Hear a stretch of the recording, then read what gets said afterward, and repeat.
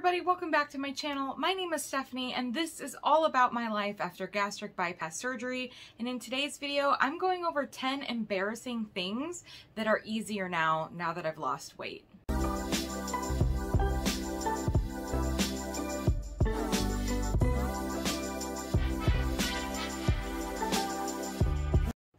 A lot recently about how my life is changing after surgery and how things are a lot easier both mentally and physically to do. And I've been kind of thinking about this video for a while, but debating whether or not I really wanted to go into some of those really embarrassing things that used to be really hard for me when I was almost 400 pounds. But my channel is all about transparency. Because I didn't film myself and have this channel before when I was almost 400 pounds, I don't feel like there's a really good representation of how difficult my life was for certain aspects before I lost the weight and just how big of an impact this weight loss has been on my life. So I came up with 10 things that were really embarrassing to me before I lost 175 pounds and honestly were really hard to do. And most of these things, I didn't even realize how absolutely horribly impactful they were until they weren't a problem anymore. My list does ramp from kind of the least embarrassing to the absolute most embarrassing, oh my gosh, why are you putting this on the internet type of thing. So just be prepared. I will be covering all of it. But before I get too embarrassing, I just want to say that if you are a returning subscriber, thank you so much for continuing to support my channel and my journey and my videos. It means so much to me and it's been such an interesting new part of my life to kind of see this grow and be able to interact with everybody. If you're not yet a subscriber, but you do find yourself watching my videos and enjoying the content that I put out, I just kindly ask that you consider hitting the subscribe button and ringing the notification bell so you get notified whenever one of my videos goes live, just to show your support for the kinds of videos that I'm putting out, if you want to. No big deal or anything. So number one is that I used to have to size up chairs before I sat in them to see if they might be able to handle me. This is really obvious in like a party setting or a wedding where you have fold out chairs. I never trusted that a fold out chair was actually going to hold my weight. And I was so mortified that I would sit in a chair and it would collapse and it everybody's eyes would be on me and it would just be this mortifyingly embarrassing situation. And so there were a lot of times that I actually chose to like not sit and just kind of lean against a wall or do things strictly because I didn't feel that the seating available was honestly going to handle my weight. And in some situations that was easier than others, but it was really hard to walk into a situation, see that the seating wasn't really something that could probably handle 350 to 400 pounds and not really sure how to handle that situation without drawing immense attention to myself. Number two is something that I've noticed a lot more lately, and it's the fact that I used to think that people were constantly looking at me. And I used to feel that they were judging me or that they were laughing about me. There were a lot of situations where I would be out in public and I would be so uncomfortable with myself just being out in public that anytime I heard people laughing, especially if it was like a group of younger boys, I just assumed and was just super, super worried and embarrassed that they were laughing at me because I was walking down the road or, you know, I was out and about doing something. A really good example of this is um, several years ago, I used to live only about a mile away from my work. And for a while, I was actually biking to and from work. But I remember feeling like everybody's eyes in all the cars along the road were staring at me and judging me for being this fat girl on a bicycle biking to work. I always assumed people would be looking at me and being like, wow, she's way too fat for a bike. And I've noticed now, since I've lost weight, that those thoughts don't consume me anymore. I am not absolutely worried all the time about what other people are thinking about me. There is a confidence that has come with this, and it's unfortunate because I really wish that I had that confidence when I was heavier because I should never leave my house and feel like people are judging me. And in the vast majority of situations, I'm sure absolutely nobody was actually looking at me and judging me and laughing at me. But that was what I thought about myself and my self esteem issues caused me to think everyone else was thinking the same thing. Those internal dialogues are really strong and they're really problematic when they start weighing you down just when you're out and about or making a good decision and biking to work. Number three is that I used to not be able to walk and talk at the same time.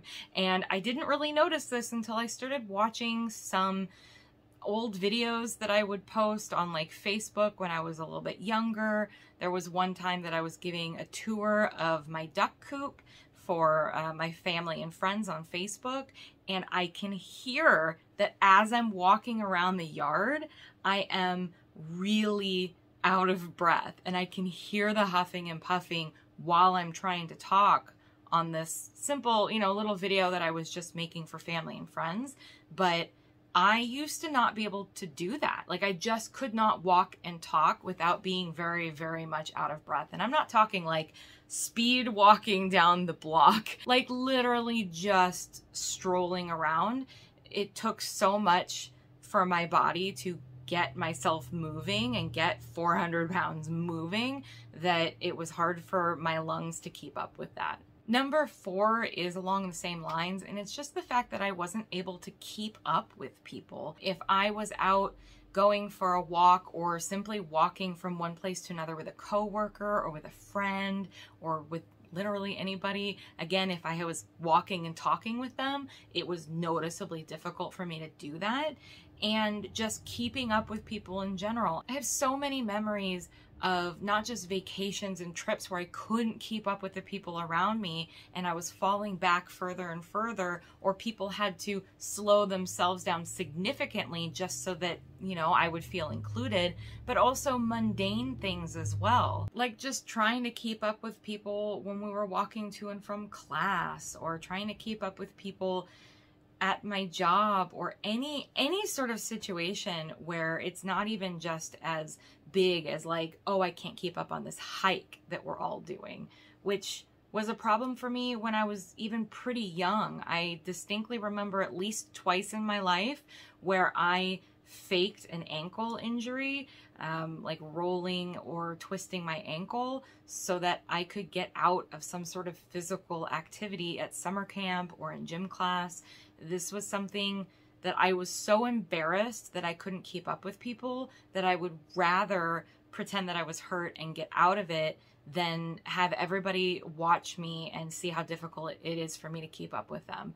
And I was pretty young when these things happened. I, distinctly remember one time in summer camp when I believe I was about maybe 11 or 12. Um, you know, this was a huge problem for me. This was something that was really awful to me because I couldn't physically keep up and do the same things as other people, but I just felt like my peer group and and kids around me when I was that age were really really noticing and judgmental uh, when that happened. For example, that hike in summer camp that I'm referencing, um, I distinctly remember the moment that I started crying and telling the camp counselor that I twisted my ankle and I couldn't go on any further. And I was crying because I was embarrassed and I couldn't I couldn't go on anymore and I was really tired. And one of the kids in camp started saying, "Well, I saw she's faking it. She she did it on purpose," which was even more embarrassing because I didn't actually fake the process of twisting my ankle. I just told her that I did. So for the kid to say that he saw me fake it um, was just kind of adding to that whole idea that I'm the fat kid. I didn't really have that happen. I'm too lazy to do it. And all of it was just sort of feeding off of off of each other and off of itself. And it was just a bad situation to be an overweight kid. It's just a bad situation. And it's super embarrassing. And that stuff sticks with you even after you're an adult. Number five is that I used to always be worried about what cashiers were thinking about the food that I was checking out with. And this was both in like a grocery store situation where I was worried about the things that were in my cart and whether or not somebody would judge me for uh, the healthy or non-healthy food choices that I was making. But even if I had a relatively healthy mix of food in my cart, if I had like one thing in there that was a bad choice, I was worried that somebody was going to be like, well, that's why she's fat. She's got that pie in there. I wonder if she's going to eat the whole thing herself. And it just kind of feeds off of that idea that everybody was looking at me and judging me for everything that I did. I know rationally that that's probably not happening, but that's where my mind was going. And the biggest example of this is when I would go out to fast food. I talked about this in my binging video and, and kind of the food that I used to eat. Like for example, when I would go to McDonald's, I would have way too big of a portion. So I would get something like a Big Mac meal and I'd probably make it large, but I would also want to have a McChicken because I loved the taste of McChicken. And I could never settle on what flavor I wanted and I wanted all of the food and so I would order the Big Mac meal large with a McChicken. But then I would get really, really worried that they'd be like, wow, that's a lot of food for one person. So I would order like a small drink in addition. So it seemed like there was two meals there. And then I'd end up with two drinks and I wouldn't want two drinks and it would just be a big mess and I was spending more money than I actually wanted. All because I was super worried about what that person was gonna think if I ordered the food that I actually wanted to order. The worst I ever had it, I would hit multiple stores um, and I would get different things at multiple fast food places or multiple stores. And that was really bad because then I didn't necessarily have to worry about what people were thinking because they didn't know what I had already purchased at the store prior. Man, I'm glad I don't do that anymore. Number six is that I used to always have to use the handicap stall. A regular stall at a public restroom was too cramped for me and I just felt like I couldn't quite fit in it um, in the way that I needed to in order to get my business done. It was too tight to maneuver. It didn't feel comfortable. And then I was always worried about the fact that I was using a handicap stall and like, what if I took the handicap stall for somebody who was actually handicapped and needed it and then I walk out of the stall and they're like, great, if Fat Girl was in it and I've had to pee for like three minutes now. I just, I was really worried that I was going to get myself in a situation like that. Um, but the fact of the matter is, is I couldn't really use a regular stall, so I probably needed to use the handicap stall just as much as someone else did. Girls gotta pee. But number seven is kind of along those same lines. And this is where we're starting to get into some really, really embarrassing situations. One of the reasons a regular stall was not good enough for me is because I had a really hard time wiping myself when I got to be about 400 pounds. Um, it's not that I couldn't do it, and, and, I just want to put that out there that I was able to wipe myself and I, I could do it, but it was difficult. And it was something that I actually found that I had to maneuver myself in a certain way in order to do. And a lot of times, I would end up putting my shoulder up against the stall wall and how do I say this? Leaning against it in such a way that I would force my arm back further than I could reach on its own. Um, and then I could wipe without a problem. But just standing and, and wiping in any direction, I could not reach what I needed to reach without assistance. And so I found that I could do that. I found that I could press my arm up against the wall to physically make sure that I could reach what I needed to reach. And that's one reason why the smaller stalls didn't work for me, not only because there wasn't a lot of room for maneuvering, but the handicap stalls usually are in the corner of a bathroom against an actual full-fledged wall and then I'd be able to actually lean against that and put my weight against it and not be leaning against the stall walls. So that there was a big reason why I honestly had to do that. And I had to do the same thing at home. I had to lean up against the wall a lot of times in order to reach the things that I needed to reach. And that brings me to number eight, which is showering, because in order to clean myself effectively, I had to do the same thing in the shower. I would lean up against the wall in the shower to make sure that I could clean and reach all the areas that I needed to reach because just standing and washing I did not have the reach to be able to do what I needed to do. And in addition to just cleaning and showering, shaving was really, really, really difficult to do. I was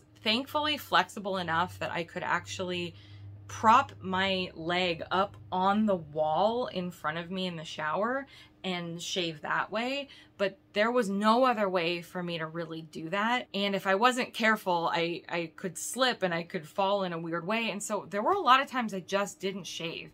I didn't wear short enough skirts or shorts or anything to really have that be too much of a problem. So I would go long periods of time without shaving and I would only shave if I was really going to like a nicer event where I was wearing a dress or something.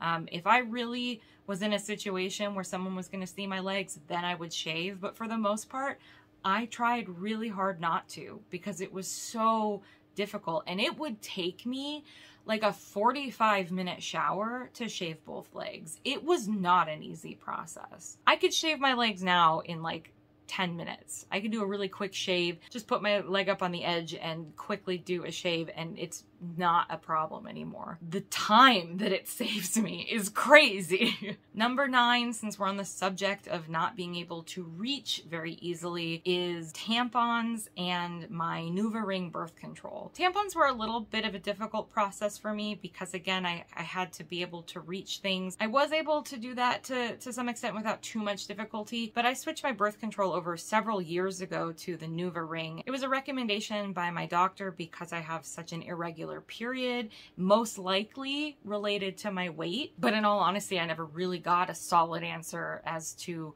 why that was happening to me, why I had such an irregular period.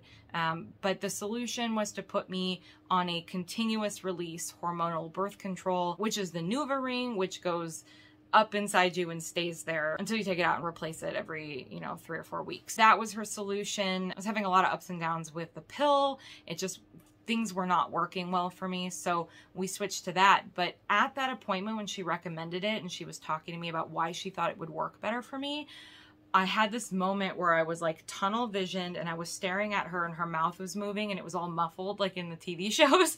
And all I could think about was, how am I going to put that inside of me?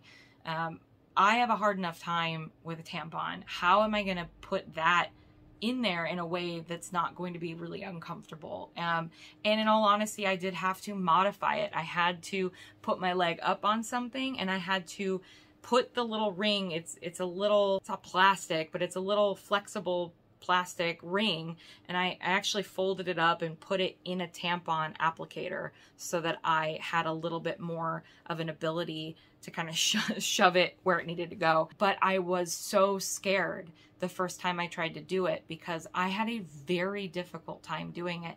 And until I tried to put it in the tampon applicator, I really, really struggled because I just couldn't do it enough. I just couldn't reach enough. And it was really, really embarrassing for me. And I was thinking, how am I going to do this? How am I going to do this every month if this is going to be such a, a horrible struggle? Because I just could not easily reach things for medical reasons, you guys. I mean, it's just insane what I put up with. And number 10 is that I used to get really sweaty and not just generally like if I was walking around or just existing and like sweating heavily, but I really noticed that I would get sweaty down there and I would get sweaty on my butt. I mean, I'd get butt sweats.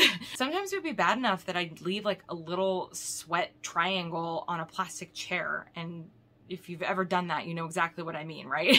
um, whereas like my butt was all humid and sweaty and like when I stood up from the chair, you could see that it was all sweaty and it was super embarrassing to me. I would do things like try to leave a chair by by going like this and sliding my thigh along it while I stood up so it would like wipe if I thought that that was something that I was gonna have to deal with. Um, but it was also something that I noticed just in my underwear. Everything was moist.